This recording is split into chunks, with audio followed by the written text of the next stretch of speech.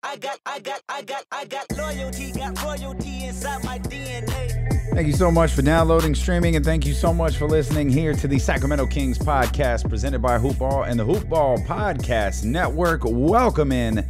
I am Damian Barling. Your Sacramento Kings get a win tonight in the nation's capital, 113 to 106 to improve to 7 and 8 on the season.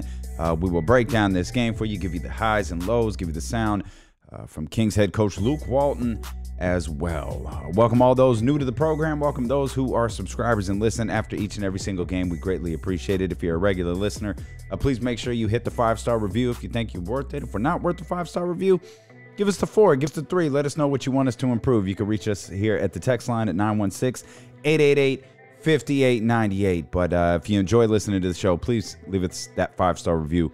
Uh, goes a very, very long way. And if you could drop us a line or two about what you think of the show, again, we would greatly, greatly appreciate it. Curious your thoughts on tonight's Kings game as well. Again, 916 888 5898. The Sacramento Kings get the win 113 to 106. Uh, as I mentioned, and there was a there, there was a couple of notes that I took early in the game, or really in the first quarter, the, the very beginning of the first quarter, looking at this like, okay, the Kings are making it a point to score in the paint early. And it was kind of like, okay, are they going to keep this up? Is this uh, their game plan against the Washington Wizards? And it, it, it very much was. They were running a lot. You go back and you watch that first quarter. That first quarter set the tone. This was a really, this was a consistent game with the exception of three point shooting. Uh, it, it, this was an incredibly, the Kings had a game plan and it seemed that they, they executed it felt like to perfection throughout the course of the game. Uh, again, the, the three point shot didn't fall in the first half. It certainly did there uh, in the second, but their plan against Washington was to score in the paint. And you go back and you watch that first quarter over again, and you see them set that tone. They're running a ton of cuts to the basket. Uh, they're running a bunch of post up plays, and it was funny because the Wizards were kind of doing the same thing. They were they were really matched in terms of points in the paint, like with through the entire game. Uh, they they were just neck and neck in that one singular category. Uh, they wound up the, the, Washington Wizards wound up uh, outscoring the Kings in the paint 52 to 46, but that's because the Kings three point shot started to fall, and when they needed a dagger, uh, that dagger came. Uh, in the form of a three ball. So we'll lay out all of these storylines. You go back to that first quarter. I, I guess the important note is Bogdan Bogdanovich returned to the floor at about the six minute mark of the first quarter. He seemed to be moving well. I was watching him probably a little too closely. He's like, oh, is he laboring? And when he backpedals, is he struggling on his cuts on defense? No, he didn't seem to struggle at all. As a matter of fact, he hit one of the biggest shots of the game. Uh, but this game was very. It was very close. It was very even. They kind of just went back and forth at it the entire game. The Wizards took a, a 27 to 24 lead into the second quarter. The Kings opened up, and the, you know, the story of the second quarter was just runs. Uh, who who was on the run in that particular moment? Kings opened up the second quarter with a 12 to 2 run. The Wizards, uh, they used a run of their own to pull even at 43. Uh, another run gave them a 52 to 45 lead. It was a 14 to 2 run to be exact.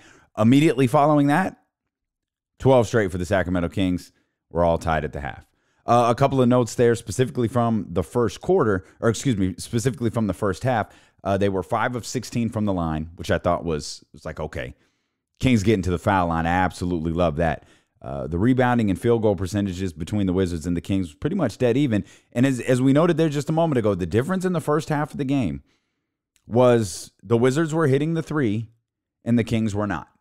Uh, the the Wizards had hit seven threes. Uh, the Kings had only hit two there uh, at that point. Now, Uh, the, the, seven to two, it's it's it's an advantage. Certainly, the seven three pointers. That's not like a breakneck number. It's not like you're looking at the go. Oh my gosh, how are the Kings going to come back from that? But remember, you you take the conversation in its totality. You take the first half in its totality, and you realize, okay, the Kings have a, a, a negative five differential in terms of made threes, and it's a tie ball game. It shows you that they were doing a lot of other things on the floor right, and you know this is a phrase that isn't uttered very often this year, but the third quarter belonged to the Kings. They outscored the Wizards in this one, uh, 33 to 28. Uh, the Wizards' three point shooting it fell off a little bit here in the third quarter, and the Kings it started to pick up. And it was one of those games where, the, and, and this is where I feel that this team, this Sacramento Kings team, is different You know, even as recently as last year's team, and certainly, you know, you, you go back and you look at the many different teams, you could see games like this one where Kings have an advantage. They're up the whole game. And and really that, that that was essentially the case. There were no there were no big leads in this game. No no team was really able to create distance. Uh, the biggest lead for the Wizards was seven. Uh, biggest lead for the Kings was nine. So neither team pulled away. And there were moments where, you know, even late in this game where it got within two, it got within three. The Kings are up just a few. And I feel like in times past, teams past, this is you you you could see the Kings fold this game. You could see the pressure mounting a little bit. You could see, you know, those those mistakes just kind of snowball into more mistakes, more mistakes, more trouble, and suddenly uh, that three point lead that they had is now a four point, uh, you know, a four point disadvantage. I feel like they've been able to close out games significantly better this year. I feel like they have withstood runs from their opponents significantly better this year. And I know that we're talking about a team that's seven and eight right now, but we're also talking about a team that started 0 and 5. So eh, I, I think there there's a lot of positives to take away. And just you look at you look at each, you know, game in the microcosm of the season, right? You just you just take different aspects of each game and go, oh, what did they do in this game that looks differently than what they did in games in the past? I thought their second half defense was really good. I thought their fourth quarter defense was fantastic. Uh, there was a play, eh, you know, I might be alone on this. It sure looked like Isaiah Thomas was fouled on that three point attempt there at the end of the game. I thought the refs missed it, or eh, not at the end of the game, but I think it was with, you know under two minutes to go. Isaiah Thomas, I, I thought he was fouled on that three point attempt. Refs didn't call it. Bogi came down. He hit his third three of the game, and that was it. You know, as close as the game had been there in the fourth quarter, as much as Washington had battled back, battled back, battled back, they had tried to get themselves in that game. They could never get over the hump. They got close, but they never got over the hump. But the, that was the play that kind of was like, all right, that's it. Bogi's third three right there, put an end to it. And that was the big shot. That was the dagger. Um, and again, of note, the, the, the threes in the uh, first half, two. Uh, threes in the second half, nine. That was the difference. That was the difference. That three ball started to fall. And uh, the Kings' defensive effort, again, this is a theme of the season. The Kings' defensive effort was there for all four quarters. I think they have played extraordinarily well uh, since that 0 5 start on the defensive end. Uh, Luke Walton preached patience. He pre and I and I I was frustrated. I was I was frustrated after the Charlotte game. I think a lot of us were frustrated after the Charlotte game. I think some of us saw some uh, positives coming out of the game uh, against Denver. Uh, I, I, think we saw, okay, all right, th- th- that's okay. We'll carry this over into the Charlotte game and good to go here.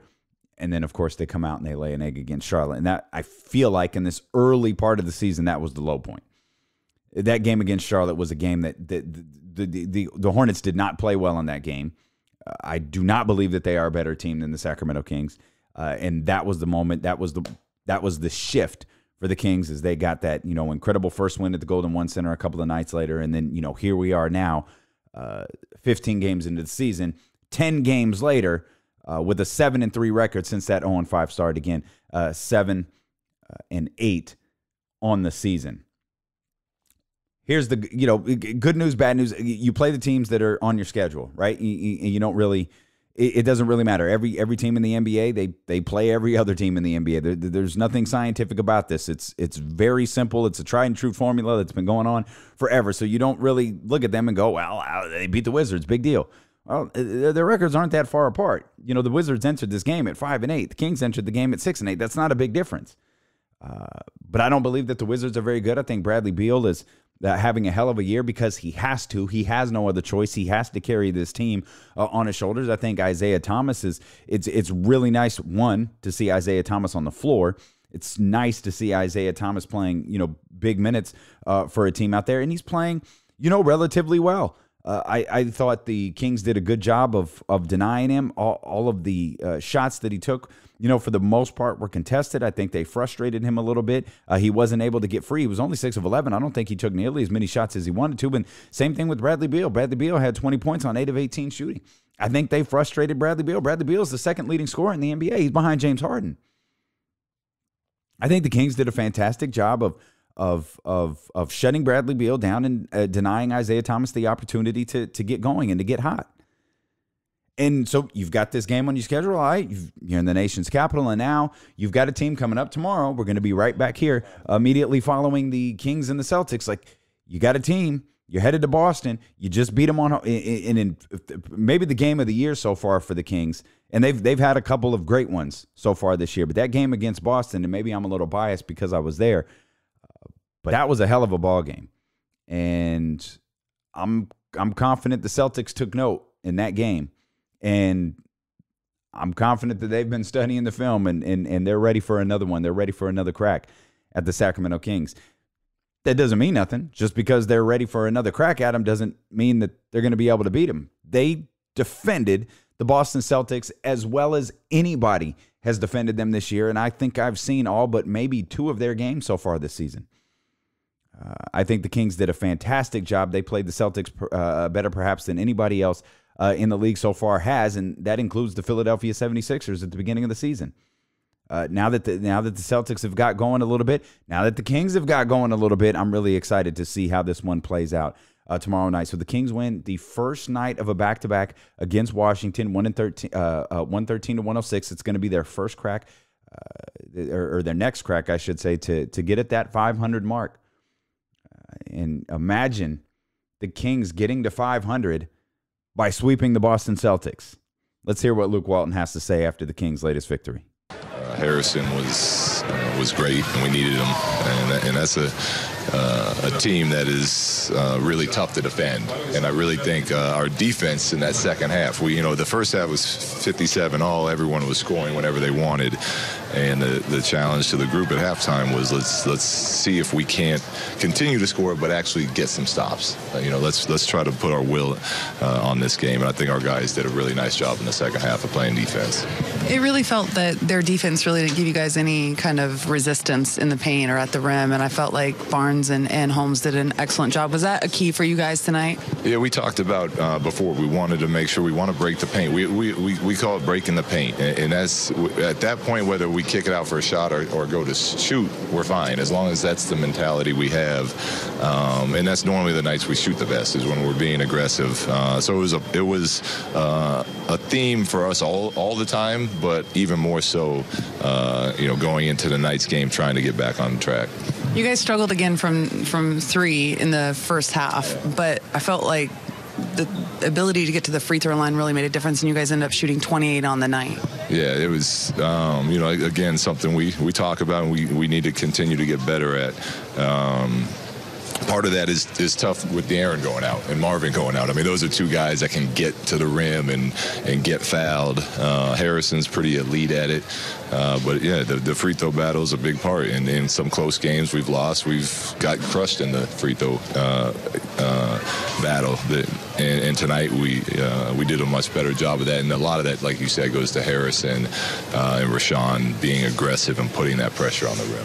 What's the challenge with going to Boston tomorrow night? You know, it's a back-to-back. You got some injured guys. What, what, what, how tough is that for these guys? It's, I mean, yeah, it's always a challenge going into that place and playing. Uh, and, you know, them being uh, one of the best teams in the league makes it more of a challenge. And you know, we got to see how uh, you know, Bogi's feeling. Maybe Bogey can't go tomorrow night, and then we got to adjust again. So, uh, you know, it's it's not ideal, but it's it's the, the, the, challenge and opportunity in front of us, and we got to um, we got to be ready for it and, and, try to embrace it and see if we can't uh, get another win. Buddy was able to get to the free throw line, and that's something he's not always able to yeah. do. And he's been struggling with his shot the last couple of games. Just how important was for him to get to the line and start to see the shots fall. Yeah, I, I, think it's a good thing for him to, to, to feel and see. Whenever a shooter misses some shots, it's uh, it's normally as easy as getting to the line and, and, watching one or two free throws go in to get a shooter hot again. And uh, you know, I think that helped Buddy tonight, uh, and something that as he continues to grow as a player, I think uh, he'll recognize and try to you know try to make that part of his game when the, when the shot's not going in. But I thought Buddy, after struggling in the first half uh, to make shots, I thought he came out second half defensively um, and offensively and played a very very good half for us. He'll feel 10 below his average. What was working so well there tonight? Was it that was you know uh, defensively we, you know, he, he's the thing that makes this team go. And last game in Brooklyn, we uh, we messed up by letting you know Harris get hot early, and we paid the price. Uh, so our team. Uh, our, our team thought process tonight, and Cory Joseph did a great job of kind of setting the tone for us. Was everything it takes not to let Bradley get going, and uh, you know he obviously he has some shots he normally makes, but I do think our guys did a nice job of of uh, making him work for everything. So often, Luke Walton goes and does those press conferences, and I feel like he addresses some of the things that we talk about at the very open of the podcast. You just heard him obviously talking about uh, taking away Bradley Beal. That's not really. Uh, I I think we you know all of us coaching from home we can put that together on our own. If you could take away the second leading scorer in the league, the leading scorer for that team, and really uh, kind of the heartbeat of what the Washington Wizards have been able to be this year without John Wall, then yep, you're going to be pretty successful if you're able to do that. Not always easily executed, uh, but you're going to be successful if you're able to do that. Uh, I also I, I, thought it was interesting. I thought his remarks about Bogdan Bogdanovich were interesting. Um, how healthy is Bogi? I mean, you know, obviously he missed the Brooklyn game. He he you know he he attempted to. Uh, he was insisting, oh, it's it's it's it's not bad. I just I wanted to finish the game and you know, all of that. And it was like, ah, it, it, didn't feel like it was a big deal. And then the Brooklyn game comes around. Obviously, he doesn't play. He gets out there. He plays against, uh, he plays against uh, the the Washington Wizards tonight. And you hear Luke Walton say, well, we'll have to see how he feels tomorrow. And I guess that's just the the day to day monitoring of of players in general, specifically one who, you know, who's who's obviously dealing with something here uh, at this particular moment. And I wouldn't have guessed. Again, I, I was probably watching him a lot closer than I needed to. I wouldn't have guessed Bogdan Bogdanovich was feeling any ill effects. Uh, from that hamstring injury, I mean, he had 21 points, and I haven't done a good job of of stating how much how much this game was really about Harrison Barnes. Uh, Harrison Barnes was great on both sides of the ball, and it's not often that he is uh, a major difference maker offensively. It, like he, he, you know, and, and I'm not, I'm not saying he's one of those guys who's only plays defense, but I'm talking about a major difference maker offensively. Often we're looking at Buddy uh, in that category. We're looking at Bogdan Bogdanovich in that category. Uh, but tonight it was about Harrison Barnes. He had just the most 26 of the just the most efficient 26 points imaginable. He was seven of eight from the field, and I, and I could be wrong, but I think he hit his first seven. Uh, he was three of three uh, from behind the arc, and he was 9 of 11 uh, from the free throw line. Uh, Richaun Holmes, uh, he continues to play well. He was 7 of 9 from the field, 16 points, 10 rebounds, nice little double double for him. Uh, Nemanja Bjelica, again, uh, you heard Luke Walton at the beginning of that press conference that, you know, we, we, we, we talked about breaking the paint that's exactly what they did. And and even though shots weren't falling for Nemanja Bjelica, uh, he managed to gather up uh, 12 rebounds again. Not, not a stellar, not a stellar night for him, but he was attempting to contribute uh, while he was out there, while the shot wasn't falling, he was making some careless plays there with the basketball. But as you know, as we were talking about Bogi before, you know, switching gears to Harrison Barnes, he played 28 minutes, which okay, no signs of anything ill there. Uh, seven of six from the field, three of nine from three point range. He had 21 points to go along with four assists and four rebounds. So I guess we'll find out tomorrow.